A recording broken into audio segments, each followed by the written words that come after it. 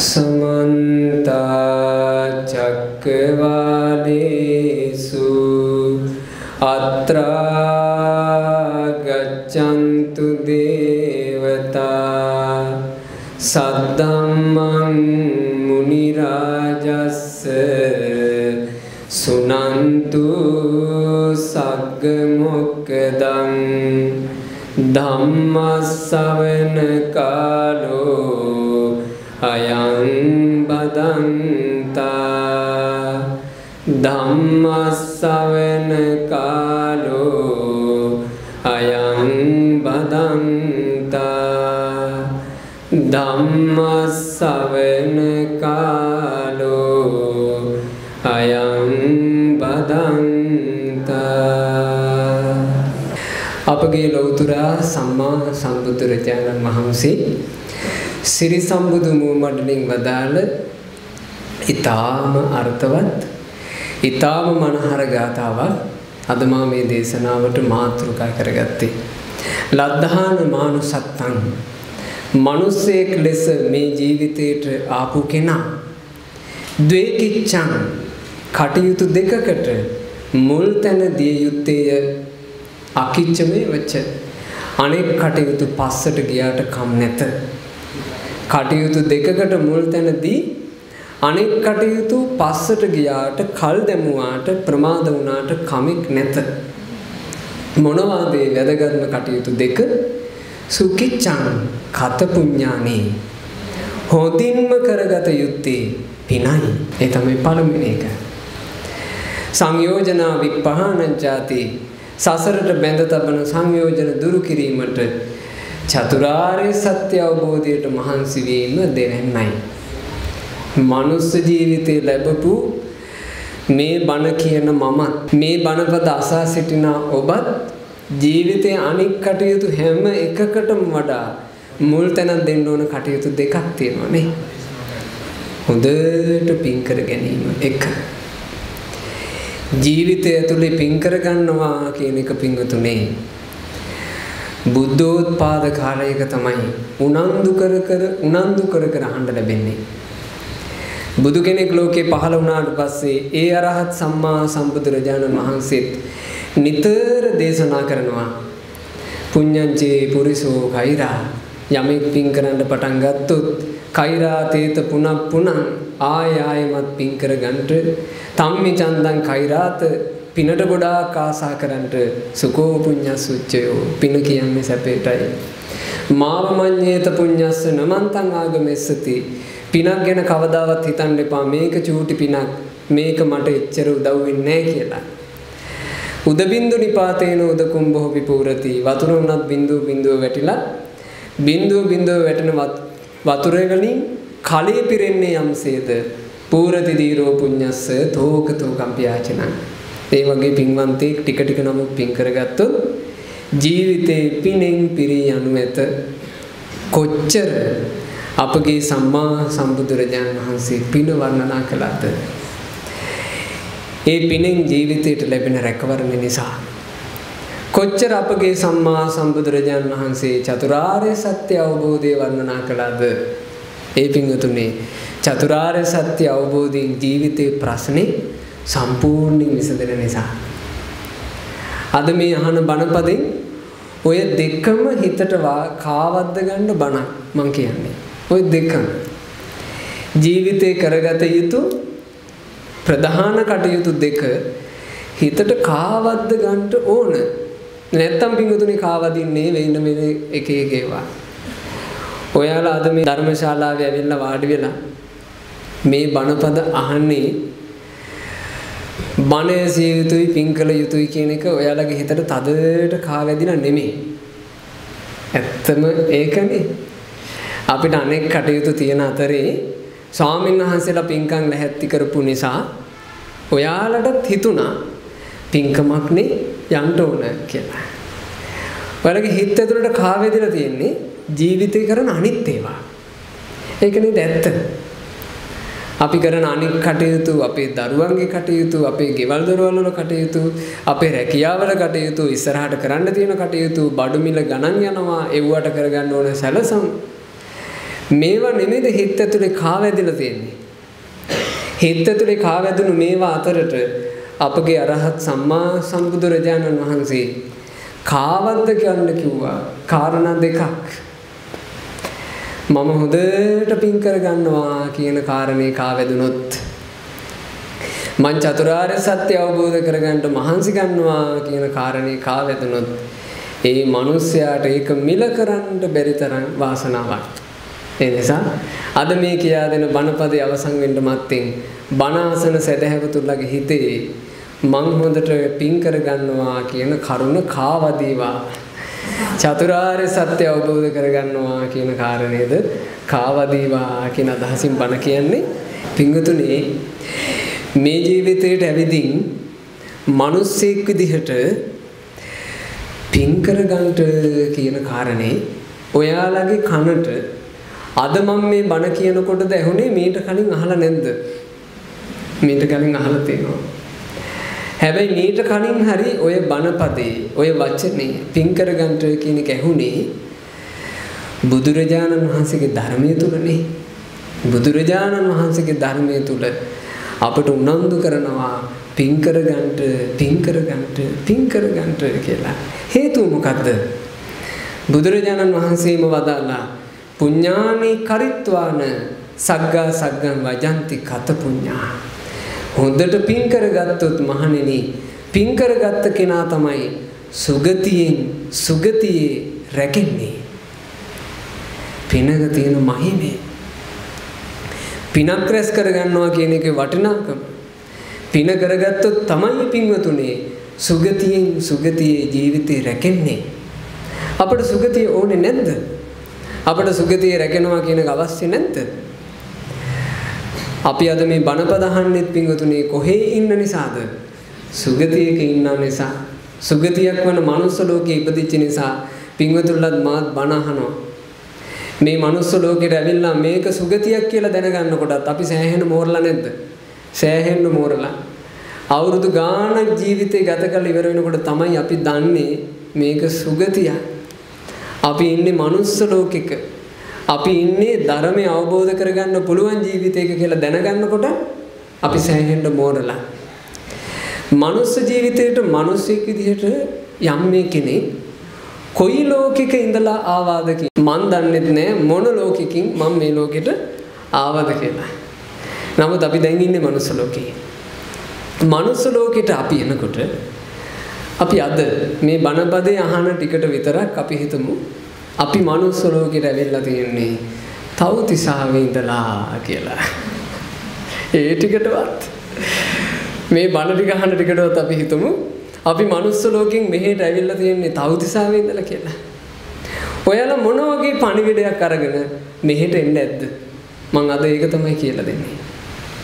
පුබ්බ නිමිත්ත සූත්‍රය. මේ දේශනාවේ නම පුබ්බ නිමිත්ත. පුබ්බ නිමිත්ත කියලා කිව්වේ පෙර නිමිති. බුදුරජාණන් වහන්සේ සැවැන් නුවර දෙවුරන් මෙහෙරේදී භික්ෂුන් වහන්සේලා ආමන්ත්‍රණය කරලා වදාලා යදා භික්කවේ දේවෝ දේවකායා චවන ධම්මෝ හෝති මහණෙනි ඇතැන් කාලෙනවා තවතිසාවේ ඉන්න දෙවිවරු ඒ දිව්‍ය ලෝකෙන් චුත වෙන්න ලං වෙන. ඒක වෙලා එහෙන් යන්න ළඟයි. එතකොට පංචස්ස පුබ්බ නිමිත්තානි පාතු භවಂತಿ. ඒ දෙවියන්ට පෙර නිමිති පහක් පහළ වෙනවා. තවතිසාවේ හිටපු දෙවි කෙනෙක් දිව්‍ය ලෝකෙන් චුත වෙන්න යනකොට අනිත් දෙවිවරුන්ට අඳුන ගන්න පුළුවන්. මෙයා නම් චුත වෙන්න ළඟයි කියලා. මනුස්ස ලෝකෙ එහෙම පුළුවන්ද? මනුස්ස ලෝකෙත් ඇතැම්මු ගැන පුළුවන් නේ.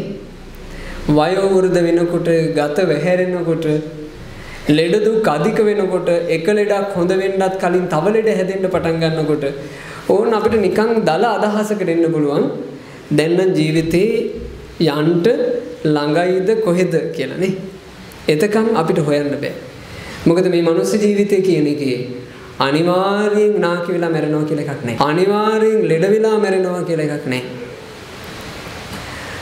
මේ මනුස්ස ජීවිතේට මරණය එන විදිහ ගැන බුදුරජාන් වහන්සේ වදාළේ අනිමිත්ත මනඤ්ඤාතං මච්ඡානං ඉද ජීවිතං. මහණෙනි, මිනිස්යාගේ ජීවිතේට මරණය අතවැනීම ගැන නම් පෙර නිමිති නැත. වයසක් නෑ. තැනක් නෑ. ස්ථීර විදිහක් නෑ. ස්ථීර කාලවකවානුවක් නෑ. මරණය ගැන අපිට කියන්න තියෙන්නේ කොයි වයසක කොයි තැනක කොහොම කඩා වැටෙයිද දන්නේ. එහෙම එකක් මරණය. මරණය එහෙම එකක් කියන එක පින්වතුන්ලා නිතර හිතන එකක්ද පින්වතුනේ? මේක කොයි මොහොතේ කඩාපාත් වෙයිද දන්නේ නැහැ කියලා. ඔයාලට හිතෙනවද? හිතන්න ඕන එකක්. මොකද හේතුව මම මේ බණ අහන සදහැවතුලගෙන් ප්‍රශ්නයක් ඇහුවොත් පින්වතුන්ලා මනුස්ස ලෝකෙට ඇවිල්ලා දැන් කොච්චර කාලද පින්වතුනේ කියලා. ඔයාලා හැමෝටම තියෙන උත්තර. ස්වාමීන් වහන්සේ මනුස්ස ලෝකෙට ඇවිල්ලා අපි මෙච්චර කලක් ගත කළා කියලා ඔයාලා එක එක උත්තර කියයි එක එක වයස්. මම පින්වතුන්ගෙන් ඇහුවොත් එහෙම මනුස්ස ලෝකයේ ඇතුලේ මේ පින්වතුන්ලා තව කොච්චර කලක් ඉන්නවද කියලා. අපිට උත්තර නැහැ. සුපින්නතුල්ලාටත් උත්තර නැහැ. මටත් උත්තර නැහැ. අපි දන්නේ නැහැ පින්වතුනේ. අපිට ඉස්සරහට සති ගාණක් ඉන්න පුළුවන්ද? දින ගාණක් ඉන්න පුළුවන්ද? මිනිත්තු ගාණක් ඉන්න පුළුවන්ද? තප්පර ගාණක් ඉන්න පුළුවන්ද කියලා අපි දන්නේ ජීවිතය කියන්නේ එහෙම එකක්. ජීවිතය සම්බන්ධයෙන් ඉස්සරහාට මහා සැලසුම් ගහගෙන ස්ථීර සැලසුම් මත යන්න තරම් ජීවිතයක් අපට නැහැ. කොයි තැනක කෙසේ මේ ජීවිතය අහවරක් වෙයිද දන්නේ දෙවියන්ට නම් පෙරනිමිති පහක් පහළ වෙනවාලු චුත වෙන්න කලින් මොනවද මේ පෙරනිමිති පහ මාලා මිලා යන්ති. ඒ දෙවියා පැලඳගෙන සිටින මල් පරවන්නේය. වත්තානි කිලිස්සන්ති. දෙවියාගේ ලස්සනට තිබුණු ඇඳුම් කිලිටි වන්නේය කච්චේහි සේදා මුච්චන්ති දෙවියාගේ කිහිලි වලින් දාඩිය ගලන්න පටන් ගන්නේය. කායේ දුබ්බන්නියන් ඔක්කමති. දෙවියාගේ දිව්‍ය ශරීරයේ පාට අවපහ ගැන්වෙන්නේය. සකේ දේවෝ දේවාසනේ නාම බිරමති ඒ දෙවියාට තමන්ගේ දිව්‍ය ආසනේ ඉන්ට හිතෙන්නේ නැත. ඕම් ඔය තමයි පෙර නිමිති පහ. ඔය පෙර නිමිති මහ පහළ වෙනකොට අනිත් දෙවිවරු දැනගන්නවා දැන් නම් මෙයා යන්න ළඟයි. සාමාන්‍ය මනුස්ස ලෝකෙන් කට්ටිය යන්න ලඟ වෙනකොට වටේ පිටේ ඉන්න ඥාතීන් වට වෙලා මොකද්ද පිටුතුනේ කරන්නේ? අපි හිතමු මනුස්ස ලෝකෙන් කවුරු හරි යන්න ලැහැත්ති. එතකොට වටේ ඉන්න අය ලඟ වෙලා මොකද්ද කරන්නේ? එයාලා කියනවාද දැන් ඔබ යන්න ළඟයි. ඔබ හොඳ පිරිසිදු හිතකින් ඊළඟ ජීවිතයට ලැහැත්ති වෙන්න කියලා කියනවාද? නැත්තම් අනේ යන්න එපා දාලා කියලා මහා ගෝරනාඩුවක් පටන් ගන්නවද? වැඩිපුර තියෙන එක. දිව්‍ය ලෝකෙ වෙනස්. දිව්‍ය ලෝකේ ඉන්න සත්පුරුෂ දෙවිවරු අර දෙවියව වට කරගන්නවා. ඒ දෙවියව වට කරගෙන ඒ දෙවියාට මේ මෙහෙම කියනවා බුදුරජාණන් වහන්සේ ඒකට ගාථා වදාලා යදා දේවෝ දේවකායා චවති ආයු සංඛයා. මහණෙනි දෙව්ලොවේ වාසය කරපු දෙවි කෙනෙක් ආයුෂ අවසන් වී චුත වෙන්න ලං වෙද්දී. තයෝ සද්දා නිච්චරಂತಿ දේවානං අනුමෝදතං. ඒ දෙවියාට අනුකම්පා කරන අනිත් දෙවිවරු ඒ දෙවියා වෙනුවෙන් වචන තුනක් කියන්නේය. මොනවාද වචන තුන? ඊතෝ බොහෝ සුගතින් ගච්ඡ. එසේනම් භවත. දැන් ඔබ සුගතියේ යන්ට. දෙවිවරු කියන පළවෙනි වචනේ මොකද්ද? භවත ඔබ දැන් සුගතියට යන්ට. දෙක. ඒ සුගතියට ගිහිල්ලා සුලද්ද ලාභං ලබහ. දුර්ලභ ලාභේ ලබන්ට තුන සුලද්ද ලාභං ලබිත්වා සුප්පා තිට්ටිතු භව. දුර්ලභ ලාභේ ලබාගෙන කොහොම හරි ඒ දුර්ලභ ලාභේ ස්ථිර වෙන්න. ඒක තමයි දෙවියන්ගෙන් ලැබෙන අවවාද තුන. බුදුරජාණන් වහන්සේ ඕක කියපු ගමන් දැන් පින්වතුන්ලටත් නිකන් හිතෙන්නේ නැද්ද? මේ බණපදේ කලින් අහලාම නැති පින්වතුන්ලට හිතෙන්නේ නැති. මොකද්ද දෙවිවරු කියන සුගතිය? මොකද්ද දුර්ලභ ලාභේ? මොකද්ද දුර්ලභ ලාභේ පිහිටනවා කියන්නේ? එතන හිටපු භික්ෂුවකටත් එහෙම හිතුණා. ඒ භික්ෂුන් වහන්සේ නැගිටලා බුදුරජාන් වහන්සේට වැඳලා ඇහුවා ස්වාමීනි දෙවිවරු විසින් සුගතිය කිව්වේ කොහෙටද? බුදුරජාණන් වහන්සේ වදාළා. පින්වත් භික්ෂුව දිව්‍ය ලෝකේ ඉඳලා චුතවෙන්ට යන ඒ දෙවියාට දෙව්ලොවක ඉන්න තරම් පින මද නිසා දෙවිවරු ඊළඟට රැකෙන්න තැනක් විදිහට පෙන්වපු සුගතිය තමයි මනුස්ස ලෝකේ. සමහරු මේ බණපදෙත් වරද්දගෙන තියෙනවා. දෙවිවරුත් මෙහෙට තමයි සුගතිය කියන්නේ. ඒ නිසා මේක තමයි තැන කියලා. අපි මේක සුගතියක් කියලා නිකන් සමහර වෙලාවට පිටුතුනේ මේක සුගතියක්ද කියලා හිතෙන්නේ නැද්ද? ඇදැම් වෙලාවට මේ මනුස්ස ලෝකේ දකින්න ලැබෙන දේවල් එක්ක අපිට හිතෙනවා මේක සුගතියක්ද කියලා. එච්චර කරදර මේකේ. චුත වෙන්න නම් වෙනකන් දහඩිය බිඳක්වත් දාන්නේ නැති ජීවිතයක් තමයි දෙවියන්ගේ ජීවිතේ. ඒ දෙවිවරු නමුත් හරි අනුකම්පයි එහෙන් කෙනෙක් චුත වෙලා යන්න ලැහැත් වෙනකොට අනේ දෙවිවරු වට කරගෙන ඒ දෙවියට කියනවා දෙවිය ඊළඟට බේරෙනවා නම් බේරෙන්න තියෙන එක තැනයි. ඉක්මනට යන්න. හොඳට හිත පිහිටවගෙන යන්න. මනුස්ස ලෝකෙට. මනුස්ස ලෝකේ ගිහිල්ලා එහෙ තියෙනවා දුර්ලභ ලාභයක්. ඒ දුර්ලභ ලාභෙ ලබන්න. මොකද්ද පින්වතුනි? මනුස්ස ලෝකයේ ඇතුලේ ඔයාලටයි මටයි තියෙන දුර්ලභ ලාභේ. බුදුරජාණන් වහන්සේම දේශනා කළා මනුස්ස ලෝකයේ ඇතුලේ බුදු කෙනෙකුගේ ධර්මය අහන්න ලැබෙද්දී ධර්මයට හිත පහදවන්න කිව්වා. ඒක තමයි දුර්ලභ ලාභේ. ඔයාලා වාසනාවන්තයි. පින්වතුන්ලා අද මෙතන වාඩි උනේ බණාසනවා කියන ආසාවෙන්.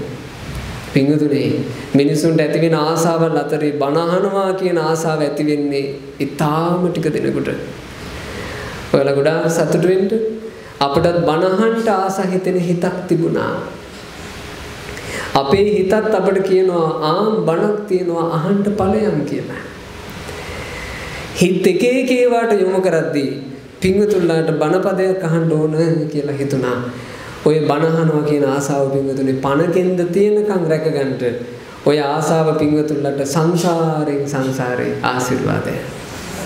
බණ අහනවා කියන කැමැත්ත හැබැයි මා හිතන්නේ අපිට බණ අහනවා කියන කැමැත්ත උපදින්නේ පිංගතුනේ සත්පුරුෂයෝ ඒකට පසුබිම් නිර්මාණය කරන නිසා.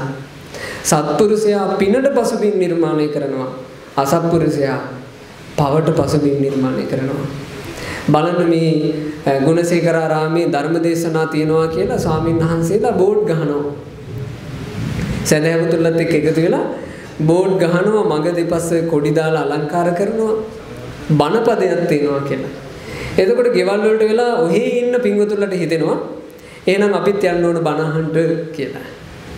බැරි වෙලාවත් අද මේ බණ තිබ්බේ නැත්තම් ඔයාලා ගෙදරට වෙලා දැන් හතමාර විතර පටන් ගන්න ටෙලි නාට්‍යයක් දිහා හොඳට බලන්නේ.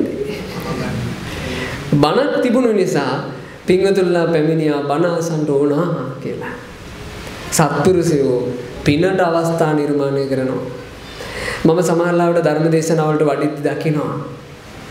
හතර මං හන්දිවල එහෙම දැවැන්ත පුවරු ගහලා තියෙනවා. මේ මේ ගායක ගායිකාවෝ ටික ඉන්නේ මෙන්න තියෙනවා මියුසිකල් ෂෝ එක එන්න කියලා.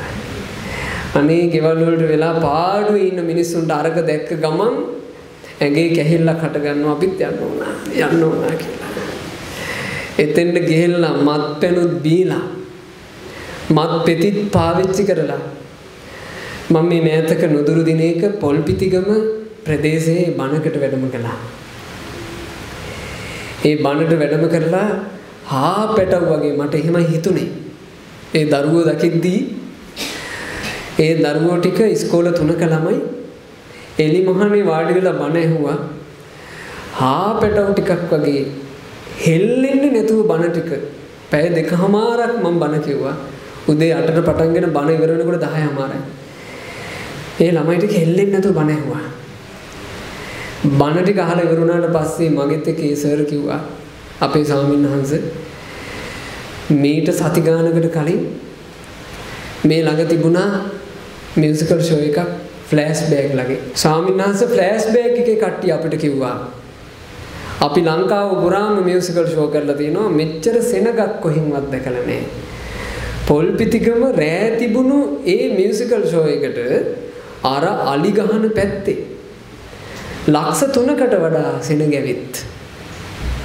ඔයාලා දන්නවද මේ සෙනගෙන් සෑහෙන දරුවෝ කොටසක් අවුරුදු 16 17 18 19 වගේ චූටි වයස්වල දරුවෝ ගෑනු පිරිමි ભેදයක් නැතුව පාරවල් අයිනේ මත්පෙති බීලා වැටිලා. ඒ වැටිච්ච අය ඇහැරුණේ පොලිසියෙන්. පොලිසිය තමයි මේ ළමයින් අහුලගෙන ගිහින් තියෙන ජිප්පල දාගෙන. බලන්න මේ වෙන විනාශය. සත්පුරුෂයෝ පිනට පසුබිම් නිර්මාණය කරද්දී ඊට වඩා සෑහෙන වේගකින් අසත්පුරුෂයෝ පවට පසුබිම් නිර්මාණය කරගෙන යනවා බේරෙනවා කියන එක නම් ලේසි නෑ. දෙවිවරු මෙහි ඇවිල්ලා කිව්වා තවතිසාවේ ඉඳලා ඔයාලා ආවනම් ඒ එනකොට ඔයාලට කියපු දේ තමයි මම මේ කියන්නේ. තවතිසාව වගේ හොඳ තැනක ඉඳලා මෙහෙට ආවනම් ඒ එන මොහොතේ ඔයාලට කිව්වේ දුර්ලභ ලාභයක් තියෙනවා ඒක ගිහින් ලබන්න කියලා. හැබැයි ඔයාලට හෝ මට හෝ ඒක මතක තිබ්බද? අපිට සිහි කල්පනාවකින් මතක තිබ්බද හප්පේ දෙවිවරු එන්න කලින් මෙහෙම එකක් කිව්වනේ කියලා. නැත්තම් සත්පුරුෂ කල්යාණ මිත්‍රයන් වහන්සේලා බණ කියන නිසා අපිට පිනට හිත නැමුණද? සත්පුරුෂයෝ නිසානේ. සත්පුරුෂයන්ගේ බණ තව බොහෝ කලක් මේ ලෝකේ පවතිවා. සත්පුරුෂයෝ බණ නොකිව්වොත් පින්වතුනි කිසා ගෝතමීලාගේ ගිනි නිවෙන්නේ කොතනද? සත්පුරුෂයෝ බණ නොකිව්වොත් අදටත් ඉන්න පටාචාරලාගේ ගිනි නිවෙන්නේ කොතනද? අසත්පුරුෂ පවිටන්ගේ ලෝකේ ඒ අය ගිහින් හිර වෙලා අසරණ වෙයි. ඒ නිසා හොඳට තේරුම් ගන්න. මනුස්ස ජීවිතයට ආපු අපි වැදගත්ම දෙයක් ලෙස කළ යුතු දෙයක් තමයි බණ අහන එක. ඔයාලට බණ අහන්න අවස්ථාව ලැබිලා මම ඔයාලට කරන අවවාදේ තමයි පණ ටික තියනකම් මම දන්නේ ඔයාලගේ පණ තියෙන්නේ කොච්චර කල්ද කියලා. ඔයාලගේ පණ කෙන්ද තියනකම් බණ අහන ආසාව නැති කරගන්න එපා. ඔයාලගේ පණ කෙන්ද තියනකම් බණක් තියනවා කියලා ආරංචි වුණොත් අවස්ථාව තියෙනවා නම් නොගිහින් ඉන්න එපා. පණ කෙන්ද තියෙනකම් පිඟුතුනි බණ අහන්න. බණ අහන කාටවත් වරදින්නේ. බණ අහලා වැරදිලා නැහැ. ඒ නිසා බුදුබණ අහන්න මේ පින්වතුන්ලගේ හිතවල උපන්න ආසාව ජීවිතේ හොඳට රැකගන්න. ඊළඟට දෙවරු කියපු කාරණේ නම් ගොඩාක් අමාරු එකක්. ඒ තමයි ඒ දුර්ලභ ලාභය තුල පිහිටන්ට කියලා කිව්වා. මොකද පින්වතුනි දුර්ලභ ලාභේ පිහිටනවා කියලා කියන්නේ සෝතාපන්න වීම. ඒක නම් ගොඩාක් අමාරු එකක්. ගොඩාක් අමාරු එකක්. යම් මේ මිනිස්සෙක් මේ කාල වකවානුවේ බුදු කෙනෙකුගේ දහම් පද අහලා ඇත්තටම සෝතාපන්න ඵලය සාක්ෂාත් කළොත් ඒක එක කමටහන් දෙන බොරුකාරයන්ට අහුවෙන්නේ නැතුව ඇත්තටම සෝතාපන්න ඵලය සාක්ෂාත් කළොත් මං හිතන්නේ එයාගේ වාසනාව මේ ලෝකේ තියෙන වර්ණනා කළ හැකි සියලු වචන එකතු කරලවත් වර්ණනා කරලා ඉවර කරන්න බෑ. එච්චර ලාභයක්. එච්චර ලාභයක් මේ ජීවිතය ඇතුලේ සෝතාපන්න වුණොත් මං ඇයි ඒකට එහෙම කියන්නේ? බුදුරජාණන් වහන්සේක අවස්ථාවක හිමාල පර්වත රාජයාගේ ළඟ වැඩ හිටියා. එතන හිමාල පර්වතයේ පාමුල තිබුණු වැලි කැට හතක් බුදුරජාණන් වහන්සේ මෙහෙම ගත්තා. පුංචි ගල් කැට. ගල් කැට හත අරගෙන භාග්‍යතුන් වහන්සේ මේ ගල් කැට හත තමන් වහන්සේගේ ශ්‍රී හස්තේ මෙහෙම පොලිමට තිබ්බා. තියලා භික්ෂුන්ගෙන් ඇහුවා මහණෙනි මේ හිමාල පර්වතයේද ලොකු මේ තථාගතයන් වහන්සේගේ අත්ල උඩ තියෙන ගල් කැට හතද එහෙම ඇහුවා මම කල්පනා කළා මේ බණපදේ කියවනකොට ඒ භික්ෂුන් වහන්සේලා කොච්චර නිර්හංකාරද කොච්චර අහිංසකද කොච්චර ලස්සන හිත් ඒවා කියලා දැන් අද කාලේ එහෙම අපි අහුවොත් එimhe කන්දක් ළඟ ඉඳලා පොඩි ගල් කැටයක් අල්ලේ තියාගෙන පින්වතුනේ ගල් කැටේද ලොකු කන්දද කියලා ඇහුවොත් අනේ නැගිටලා කියයි හාමුදුරනේ ඌවා ඌවා ගැඹුරු බණද ඇයි ඔහොම අහන්නේ? ඕක ඔබ වහන්සේට තේරෙන්නේ නැද්ද? ඔය අල්ලෝඩ තියෙන ගල් කැටේ චූටි එක.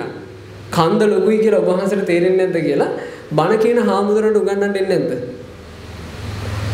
අද නම් එහෙම වෙනවා අද හරිම අන්නක්කාරයි චූටි දෙයින් ඉදිමිලා ඉවරයි අර භික්ෂුන් කියනවා ස්වාමීනි භාග්‍යතුන් වහන්සේ තථාගතයන් වහන්සේගේ අත්ල මත තියෙන්නේ ගල් කැට පොඩ්ඩයි.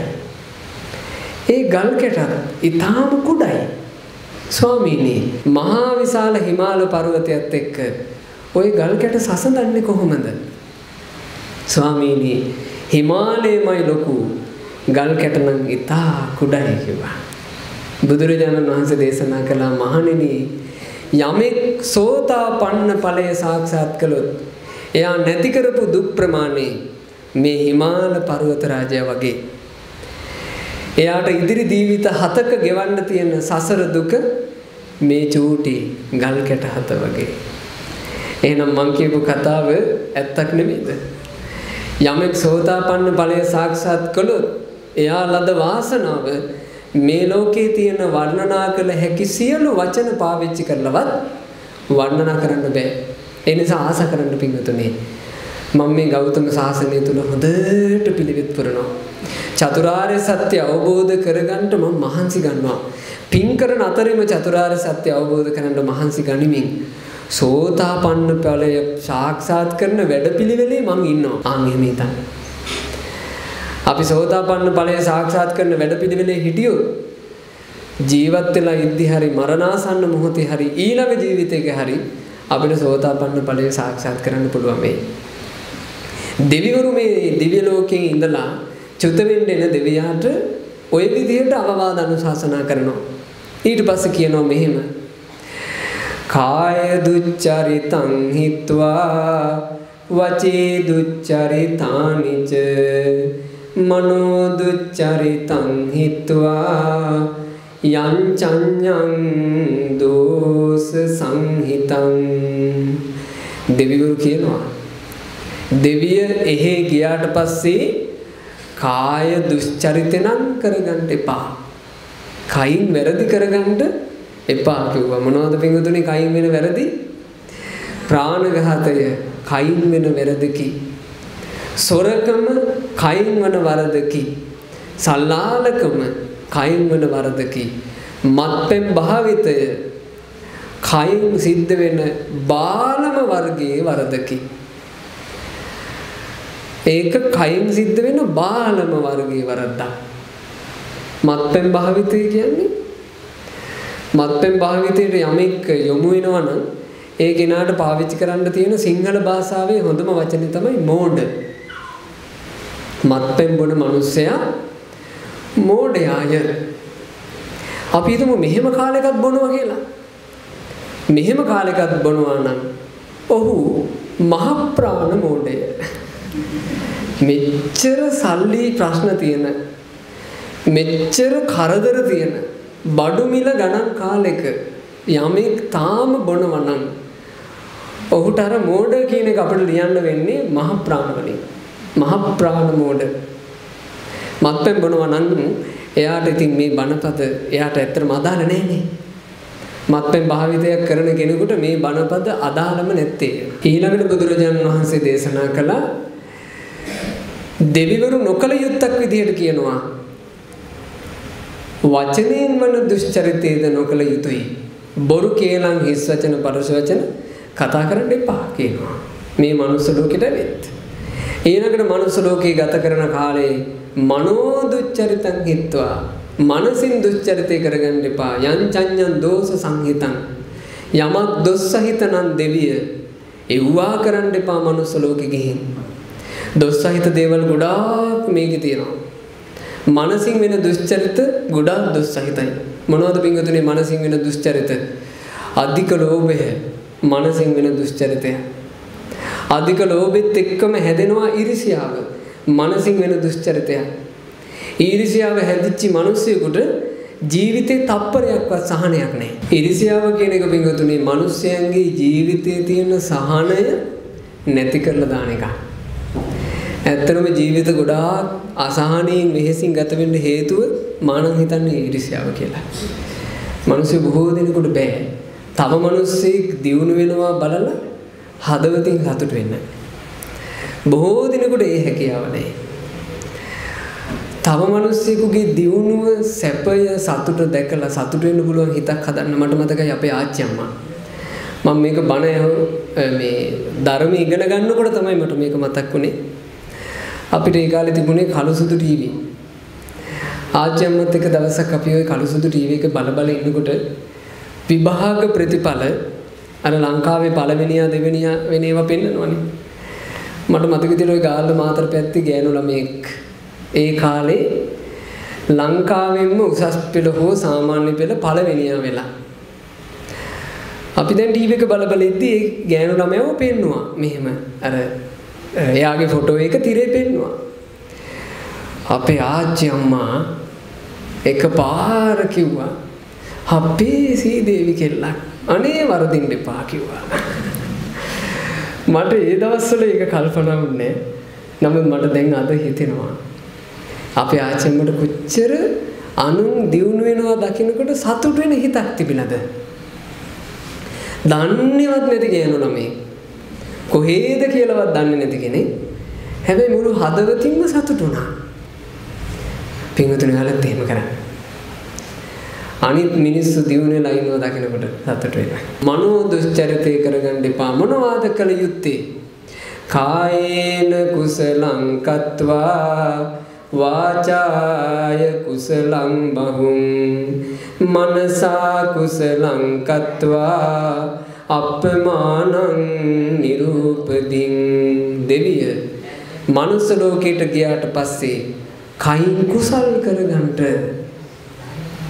මනුස්ස ලෝකෙට ගිහින් ඔබ වචනේ කුසල් කරගන්නට මනසිනුත් ඔබ කුසල් කරගන්නට අප්‍රමාණ අප්‍රමාණව කරන්නට ප්‍රමාණ කරගන්න එපා. කුසල් කරලා කරලා කරලා දැන් වැඩි දැන් ඇති කියලා කුසල් ගැන හිම හිතන්න එපා. අප්‍රමාණව කුසල් කරගන්නට ප්‍රමාණ රහිතව කුසල් කරගන්නට තමන්ගේ ජීවිතේ කුසලයක් කරගන්න ලැබෙන නිමේෂයක කුසල් කරගන්න. කුසල් කරගන්න අවස්ථා හොය හොය කුසල් කරගන්න. දක්ෂ මල්කාරයෙක් තමන්ගේ මල් මාලයට මල් හොයා ගන්නවා වගේ පින කියන එක කුසලයේ කියන එක පුළුවන් තරම් හොයාගන්න. ඒක තමයි දෙවිවරුන්ගේ අනුශාසනාව. දැන් මම කිව්වනේ බණ ටික අහනකම් හිතන්න කිව්වා. තවුතිසාවේ ඉඳලා තමයි මෙහි ආවේ කියලා. එහෙනම් ආවේ මේ මේ පණිවිඩ ටික අරගෙන. එහෙනම් කළ යුත්තේ මොකක්ද? මේ ටික. හොඳට ශ්‍රද්ධාව ඇති කරගෙන හොඳට කුසල් කරගන්න පිංගුතුනේ. ඒකට මොහොතක්වත් පමා වෙන්න එපා. මම ඒ කාලේ බණ අහනකොට මුලින්ම මට හිතට වදින්න බණපදයක් ඇහිද්දි මගේ වයස අවුරුදු 17. මගෙත් එක්ක හිතවත් හිටපු අක්කා කෙනෙකුට මම ඒ කාලේ බණ කියන්න උත්සාහ කළා. ඒ අක්කා මට වඩා අවුරුද්දක් වැඩිමල්. මම ওই බස් එකේදී හිම හම්බ වෙනකොට මං දන්න කියන ධර්ම කාරණා කියන්න උත්සාහ කළා. එතකොට ඒ අක්කා මගෙත් එක්ක කියනවා මල්ලි ඔළුව විකාර කරගන්න එපා වගේ. ඔව්වා පස්සේ පුළුවන්. දැම්ම ඔව්වා ඕනේ. දැන් මල්ලි ඉගෙන ගන්නට. ඔව්වා තමයි එයාගෙන් මට ලැබුණු උපදෙස්. මට ඒ කාලේ තේරුන්නේ අපි මේවා කොච්චර කල් කල් දානවද කියලා අහන්න තේරුන්නේ අක්කා කියන්නේ මට කොච්චර කල් කල් දාන්න කියලාද කියලා අහන්න මට තේරුන්නේ ඒ නිසා මම ඒ අක්කත් එක්ක දහම් කතා කරන එක නැවැත්තුවා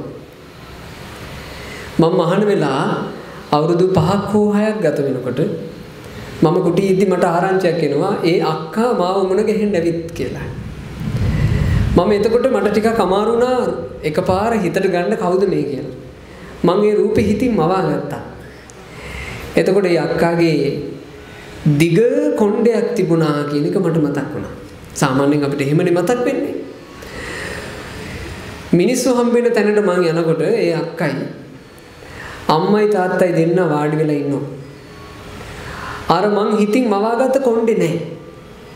ඒ වෙනුවට ඔළුවේ තුවාලයක් කොතා තිබුණා. මං එදින්න ගිහිල්ලා ඒ අක්කගෙන් මට එකපාරට අදහසක් ආපු නැති නිසා මං ඇහුවා මේ මොකවනේ මේ ඔළුවේ තුවාලයක් කොතාගෙන අලුත් ෆැෂන් එකක්ද කියලා ඇහුවා සුහදකමට එහෙම අහනකොට ඒ අක්කගේ අම්මගේ තාත්තගේ ඇස්වල කඳුළු පිරුණා. මට එතකොටයි තේරුනේ මෙතන දරුණු දෙයක්. මං ඒ අක්කගෙන් ඇහුවා මොකක්ද උනේ? අනේ අපේ ස්වාමීන් වහන්සේ කැන්සර් එකක්. ඇට මිදුළු වල කැන්සර් එකක් ස්වාමීන් වහන්සේ දුර ගොඩාක් දුර ගිහින් ප්‍රතිකාර කරනකොට කොණ්ඩේ යන්න පටන් ගත්ත කොණ්ඩේ කැපුවා. මං එදා පැය 4ක් විතර අරගෙන ඒ අක්කට බණ කිව්වා. කය සුවපත් කරන්න නෙමෙයි. සුවපත් කරන්න අමාරුම තැන. හිත සුවපත් කරන්න මම බණ කිව්වා පැය 4ක් විතර. එදායින් තුන් මාසයකට පස්සේ යලි මාවුමන ගහෙන්න ආවා. ඒ එද්දි රෝද පුටුවක නැගිටින්න බෑ. නැගිට්ටොත් අස්ති බිඳෙනවා. රෝද පුටුවක. ඉන් මාසයක් විතර වගේ ගත වෙනකොට යලි මාවුමන ගහෙන්න ආවා. එදා කියපු වචනේ තමයි ස්වාමීන් වහන්සේ බොහෝ වෙලාවට මේ ඔබ වහන්සේව දකින අන්තිම වතාව. ඇත්තටම එදායින් දවස් දෙකක් යද්දී එයා කණේති වුණා. මට මේ සිද්ධිය වෙනකොට 23ක් හෝ 24ක්. ඒ අක්කට මනුස්ස ලෝකේ ඉන්න පුළුවන් වුණේ 25ක් විතර ටිකයි. ජීවිතය කියන්නේ එහෙම එකක්. ජීවිතය ගැන නොපෙනෙන අන්ධයෝ වගේ නම් ජීවත් වෙන්න එපා. ඔයාලට පේනවා මිනිස්සු මැරෙනවා පේනවා.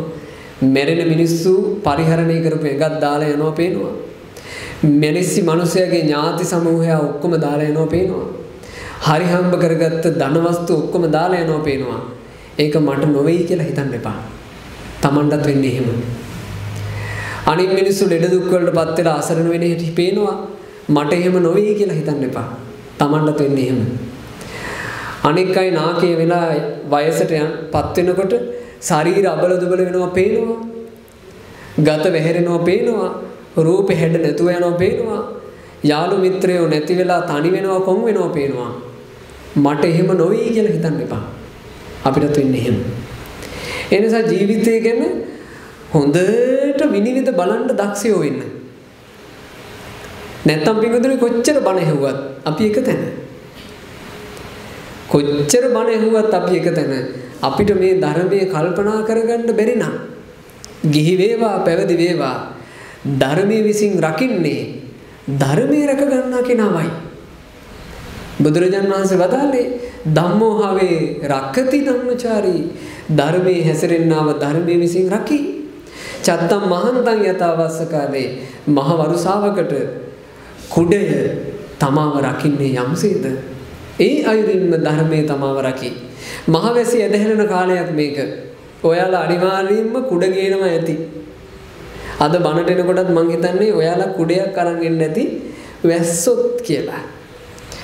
අපි හිතමු එක්කෙනෙක් කුඩේ අමතක වෙලා ඇවිල්ලා. බද වැස්සක් වහිනවා. ඒ බද වැස්ස වහිනකොට gedara තිබිච්චි කුඩේ ඔයාලට පිළිසරණක් වෙයිද? Gedara දාලා ආපු කුඩේ මගේ ළඟ තියනව නෙමෙයි කුඩයක් කියලා අපි කුඩේ gedara තියලා පාරට බැස්සොත් නොතිමීදීද? තෙමෙනවමයි. නොතෙමි ඉන්න නම් කුඩේ ළඟ තියෙන්න ඕනේ. කුඩේ අල්ලගෙන ඉන්න ඕන. ආන්ගේ වගේ. සිතකය වචනින් ධර්මයේ හැසිරෙන තාක් ධර්මයට ඔබව රකින්න බෑ. ධර්මයේ හැසිරෙන්න පටන් ගන්න ඕන. එතකොට තමයි ධර්මයේ ඔබව රකින්නේ. බුදුරජාණන් වහන්සේ දේශනා කළා දෙවිවරු ඊළඟට මෙන්න මේ ගාථාවෙන් අනුමෝදනා කරනවා. තතෝ ඕපතිකම් පුඤ්ඤං කତ୍වා දානේන තම්බහු දෙවිය හොඳට තමන්ගේ දිවි ගමනේ පින් කරගන්න තියෙන අවස්ථා අඳුනගෙන ඒ පින්කම් හොඳට කරගන්න. මතුමත්තේ සැප ලබා දෙන පින්කම් අසත්පුරුෂයෝ මොන කතා කිව්වත් ඔබ කරන්න. අසත්පුරුෂය සමානට පින්කම් කිරීම ගැන මෙහෙම කියනවනේ අපෝ පින්කම් කරගන්න එපා පින්කම් කරන්න ගියොත් සසර දිග්ගෙහි කියනවනේ. දිව්‍ය ලෝකේ ගිහිල්ලා ඒ අප්සරාවියන්ට අහු වෙයි. ඒ නිසා පින් කරගන්න එපා. දිව්‍ය ලෝකෙ ගිහිල්ලා එහෙ තියෙන දිව්‍ය මන්දිර වලට අහුවේ. ඒ නිසා පින් කරගන්න එපා. එහෙම නොයෙක් අය පින් කරගන්න එපා එපා කිව්වට දෙවිය. ඔයා එහෙ ගිහිල්ලා සැප ලබා දෙන පින්කම් කරගන්න සෑරජාන් වහන්සේලා වැඩ ඉන්නේ පින් කරගන්නයි. ওই සෑරජාන් වහන්සේ ළඟ වැතිර වැඳිලා පින් කරගන්න. බෝධින් වහන්සේලා වැඩ ඉන්නේ පින් කරගන්නයි.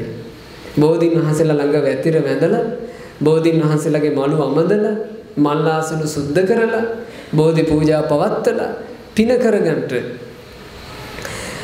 තමන්ගේ ආදරණීය මෑණියන් පියාණන් දෙවි දේවතාවුන් වගේ දැකලා ඒ දෙන්නාට සලකලා පින් කරගන්නට තමන්ට ශිල්ප කියා දීපු ගුරු මෑණිවරු ගුරු පියවරු කෙලෙහි ගුණ සලකා වැඳමින් පුදමින් පින කරගන්නට පින්වතුනි පින කරගන්න ලැබිලා තියෙන අවස්ථාව කොයි මොහොතක අහිමි වෙයිද දන්නේ පමාණු වී පින කරගන්න. මේ මා කියන්නේ මගේ අවවාදයක් නොවේ. මේ කාගේ අවවාදයද? ලෞතුරා සම්මා සම්බුදු කෙනෙක්ගේ අවවාදය බුදුරජාන් වහන්සේ අවවාදය කරන්න පාවිච්චි කළා දෙවිවරු කියපු වචනයක්. දෙවිවරු කියනවා අඤ්ඤේපි මච්චේ සද්දම්මේ බ්‍රහ්මචරියේ නිවේශය. දෙවිය එහෙ ගිහිල්ලා තමනුත් පින් කුසල් කරන කමං අනිත් අයටත් පින් කුසල් කරගන්න උදව් කරන්න. එහෙමත් දෙවිවරු කියනවා. අද ගොඩාක් සතුට වෙන්න පුළුවන් ධර්ම දානය කරන පින්වතුන්ලට තමනුත් පින් කරන ගමන් අනිත් අයටත් පින් කරගන්න කරන උදව්වක් තමයි ධර්ම දාන පින කියලා කියන්නේ. ඒ නිසා ජීවිතය ඇතුලේ තමනුත් පින් කරගන්න ඕන ගොඩක් පින කරගෙන කවදාවත් පින වැඩි වෙලා මිනිස්සුෙකුට අකර තැබ්බයක් වුණා කියලා එකක් නෑ. ඔයාලා අහලා තියෙනවද? ආන් අර මිනිස්සයා පින් කරගෙන වැඩි වෙලා අර දැක්කද? කියලා ඔයාලා කවදාවත් දැකලා තියෙනවද? පින වැඩි වෙලා මිනිස්සුෙකුට අකර තැබ්බයක් වෙලා කවදාවත් නෑ. පින කරගත්තොත් කරගත්ත පිනෙන් මානුසිකාච සම්පatti මනුස්ස ජීවිතයේ සියලු සම්පත්තියත් දේව ලෝකේ චයාරතේ දිව්‍ය ලෝකයේ සියලු සම්පත්තියත් යාච නිබ්බාන සම්පatti යම් නිර්වාණ සම්පත්තියක් ඇද්ද? ඒ නිර්වාණ සම්පත්තිය සබ්බ මේ තේන ලබ්බති. මේ සියල්ල රැස් කරන පිනෙන් ලබා දෙන්නේය කියලා බුදුරජාණන් වහන්සේ වදාලා අවසාන වශයෙන් දෙවිවරු අපට අවවාදයක් කරලා තියෙනවා. අපි තවතිසාවේ ඉඳලා නම් ආවේ දෙවිවරු අන්තිම අවවාදය කරලා තියෙන්නේ මෙන්න මේක. ඉමාය අනුකම්පාය දේවා දේවං යදා විදු. ඕන් ওই විදිහට අනුකම්පා කරන දෙවිවරු අර දෙවියාට කල යුත්ත නොකල යුත්ත ගැන අවවාද කරලා අන්තිමේට කියනවා ඒහි දේව පුනප්පුනං දෙවිය ඔයා ආය ආයමත් තවතිසාව පැත්තෙන්ට කියනවා. මේ මනුස්ස ලෝකයට යන්න යන කෙනාට ඒ දෙවිවරු කියනවා දෙවිය ඔයා එහෙ හොඳට පින් කරගෙන ආය ආයමත් තවතිසාව පැත්තෙන්ට කියනවා.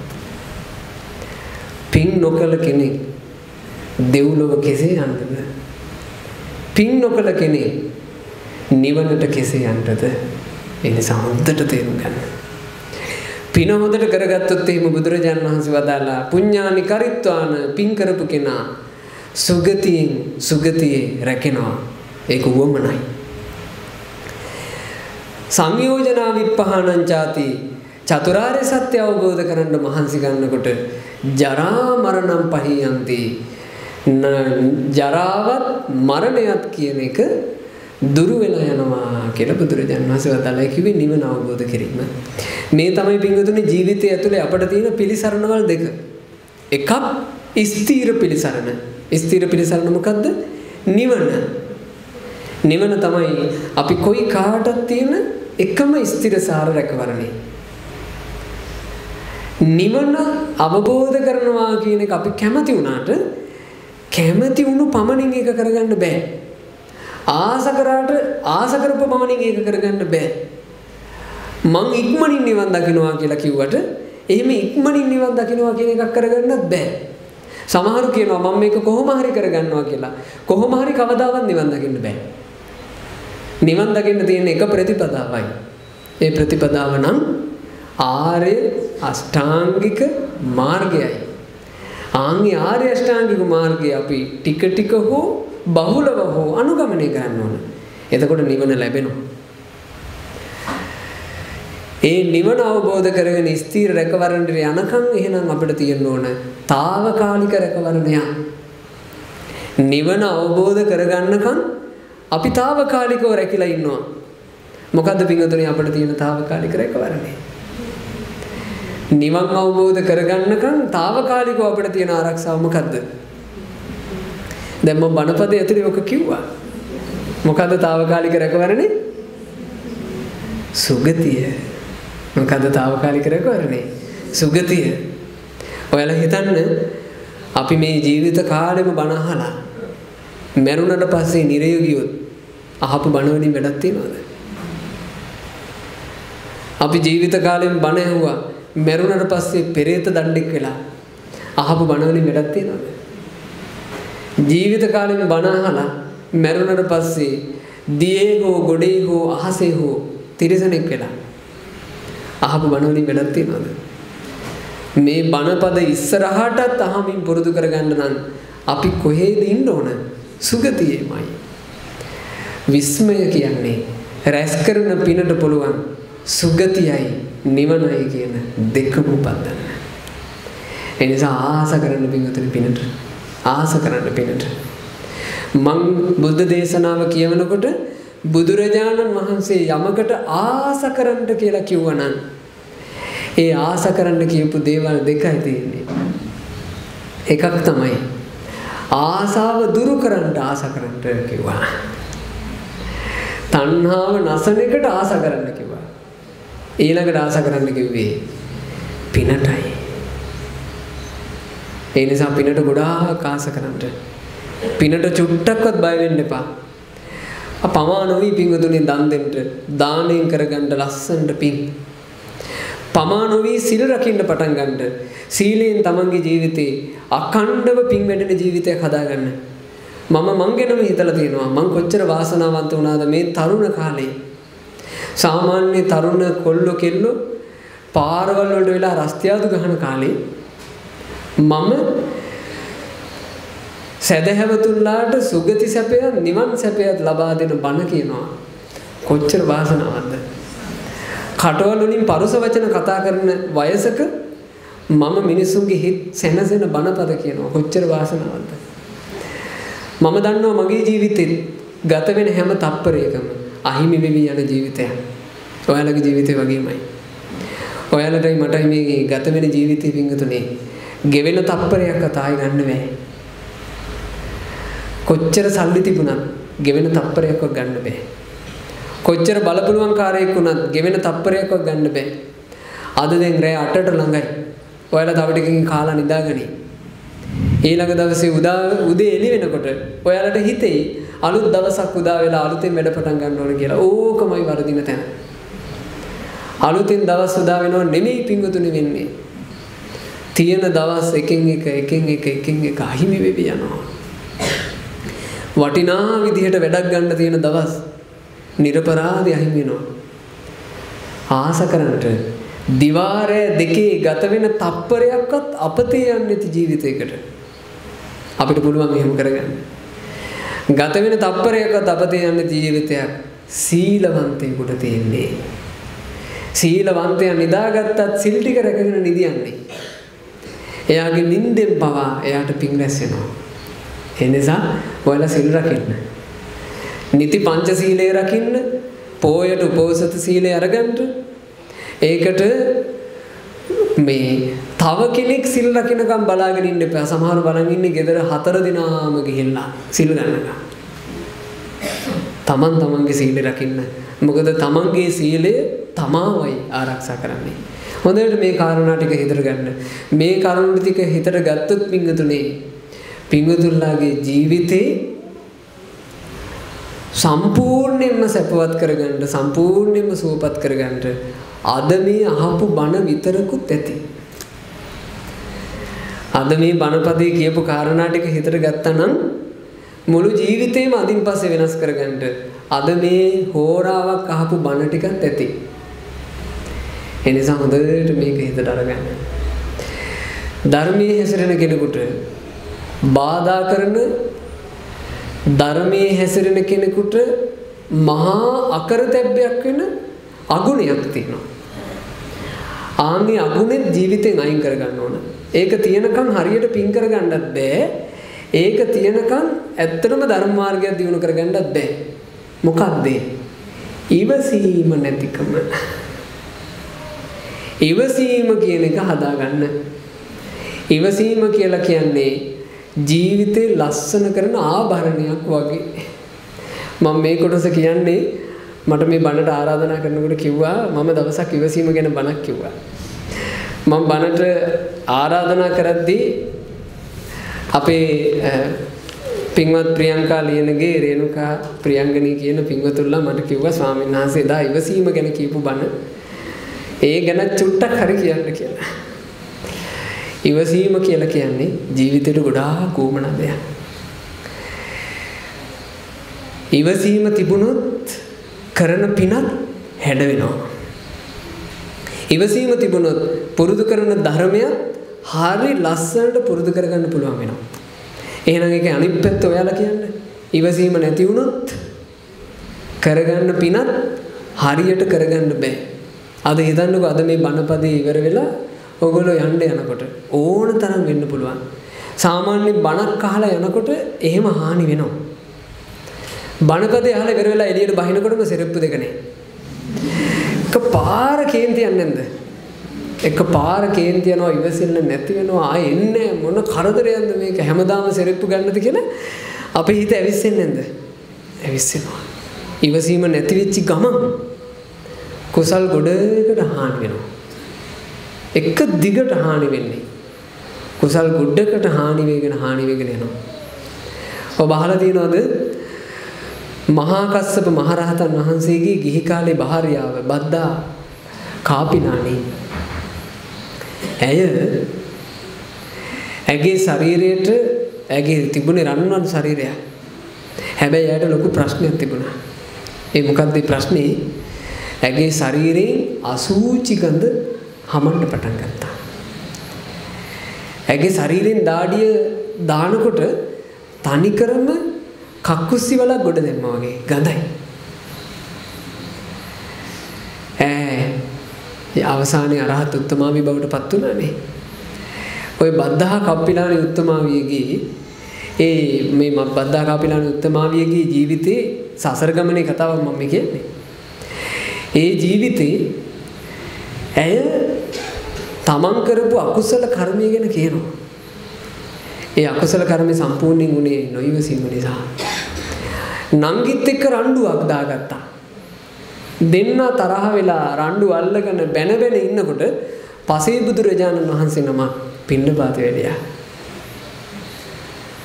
නංගී කිව්වා හරි මේ අර පසේ බුදුරජාණන් වහන්සේ වැඩලා ඉන්නවා ඒ උත්තමයට මම දානේ පූජා කරන්න ඕන මට මේ බැන බැන ඉන්න වෙලාවක් නැහැ කියලා නංගී පසේ බුදුරජාණන් වහන්සේට දානේ බෙදන්ට කියලා දානේ වාජනේ ගේන්න ගේ ඇතුළට ගියා. දැන් මෙයාගේ බැන බැන ඉන්න තිබුණු එක එතනින් අඩාර වුණානේ. මෙයාට ගියා කේන්තිය. කේන්තියෙන් ඉවසිල්ලක් නැතුව පාරට ගිහිල්ලා පාරයිනේ හිටපු පසේ බුදුරජාණන් වහන්සේගේ පාත්‍රයට පාරයිනේ තිබුණු කුණු මඩ ගොඩක් අරගෙන ඒක දැම්මා. ඉවසිල්ල නැතිකම නිසා. එක මොහොතකට අර පාත්‍රයට මඩ දානකොට නංගි දුවගෙන ආවා.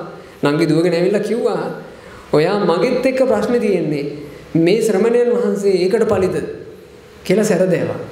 එතකොට සිහි උපන්නා. අප්පේ මගෙන් උනේ වැරද්දක්. ඒ සිහි උපන්න මොහොතේම ඉක්මනින් පාත්‍රය ඊළඟ ගිහිල්ලා පාත්‍රය සුද්ධ කරලා පාත්‍රයේ සුවඳ පැනින් දෝවණය කරලා ප්‍රණීත දානි බෙදලා දානි පූජා කළා. ඒ වුණාට තප්පර කීපයකට වැරදුනා. ඒක සසරට බලපාපු තරම්.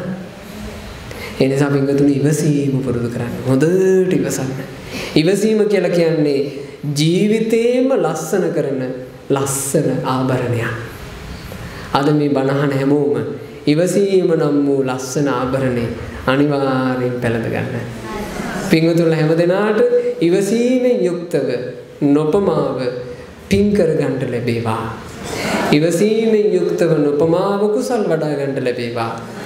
ඉවසීමෙන් යුක්තව නොපමාව තමන්ට සත්පුරුෂ ආශ්‍රය ලැබමින් සුවසේ ධර්මයේ හැසිරෙන්න පින්වතුන්ලා කවුරුත් වාසනාවන්ත වේවා.